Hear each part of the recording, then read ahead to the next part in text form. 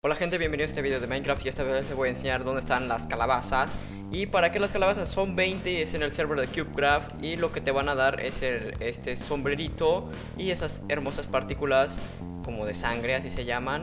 Así que bueno, vamos a ver dónde están las calabazas, así que a darle.